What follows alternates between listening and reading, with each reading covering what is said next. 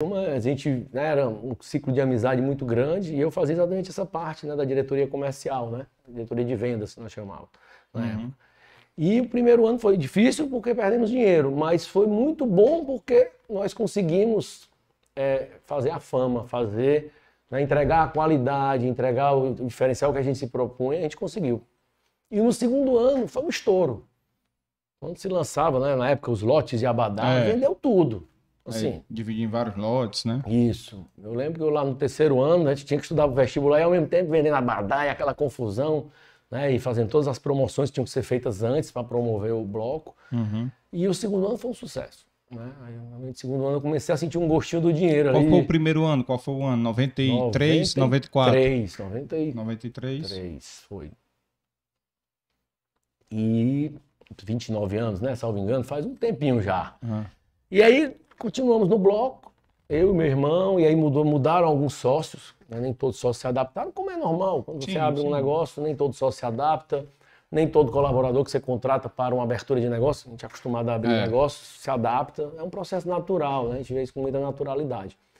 E no segundo ano teve mudança de societária, teve um primo que saiu, que eu lembro que até hoje a gente comprou a parte dele, é, dando aro de aro do, do Chevette, que na época o Chevette ainda era um carro bom, né? É. Tinha aqueles aros, o som valia muito. Ah. A gente comprou a- as cotas dele dando aro do carro, som Foi. e alguns acessórios. Caraca. Você vê como, É. né? E, e compramos parcelado as coisas e demos a ele, entregamos e ele fez É. a transferência de cotas, né? Ou seja, você vê como a gente, na época, garota e tudo, mas Fazia valia tudo, mágica. né? Assim, é, fazia mágica. E aí deu certo o segundo ano, o terceiro ano, né? E foram alguns anos aí o bloco dando muito certo. Nós também nos associamos, a, é, trabalhamos com alguns blocos de portal também. E, e tínhamos a empresa né, de, de promoção de eventos também. E aí fizemos muitos shows aí em Fortaleza, shows de grande porte, né? Shows para 20, 25 mil pessoas. alguns. Três amores. Não chegamos a fazer, nós produzimos, chegamos a fazer uns três amores, mas a maioria tinha Clube do Vaqueiro, Cajueiro Drinks Sim. e tal. Qual era o nome da empresa? O nome, da, o nome era, Era Procult, mas o nome fantasia era Gene Papo, que a gente usava para assinar né, o- Uhum. os eventos. Né? E, e aí a gente. É engraçado que nessa, nessa, nesse momento a gente vê né, os, os momentos que a gente passa, né, que a gente nem acredita que no futuro né, a gente vai se orgulhar, porque é tão rápido. É. E aí nós fizemos muitos shows, e uns, alguns deles, um Timbalada, o primeiro show da Timbalada, a Ivete Sangalo, quando era Ivete Sangalo, Banda Eva, não era? Banda Eva. O Banda primeiro show Eva. dela, a gente estava junto na, na, na parceria, trazendo, né? Foi no Cajueiro Drinks. Quem era a banda que tocava no Johnny Papo? Tiveram várias, todo ano mudava. Ah. Então não tinha algum. Primeiro Primeiro, ano. ano. era a banda local, Zanzibar, uma banda Zanzibar. local, a gente não tinha grana para trazer, os concorrentes já traziam banda de fora, a gente É. não tinha. Por isso que haja criatividade. O Douglas era teu concorrente, O né? era? Douglas era concorrente. Douglas esteve aqui. É. E, e aí tínhamos a- tivemos a Papaléguas, enfim, tivemos algumas bandas de fora também.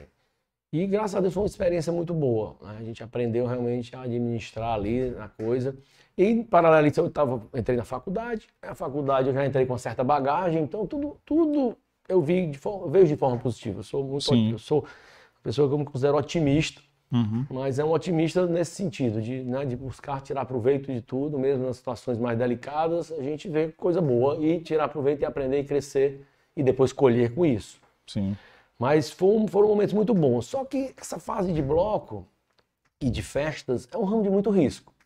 Total. É, de noite você sai com um- um- uma grana boa no bolso e de noite você sai devendo a mesma grana. né? Então É. era um, um ramo de muito risco.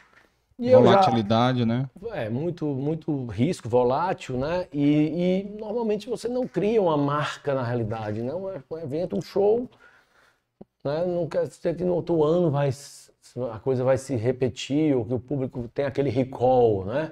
A não ser grandes festivais, mas na época fazer shows avulsos, shows assim como a gente fazia, o risco era muito grande. Uhum. E nós ficamos ainda mais de 10 anos nesse ramo. Só que, paralelo a isso, eu já namorava com a minha mulher, até minha esposa hoje. Sim, um namorar também com 16 anos de idade. Foi mesmo. É, vamos fazer 30 anos agora de entre namoro e casamento. Um abraço aí pra Sabine, viu?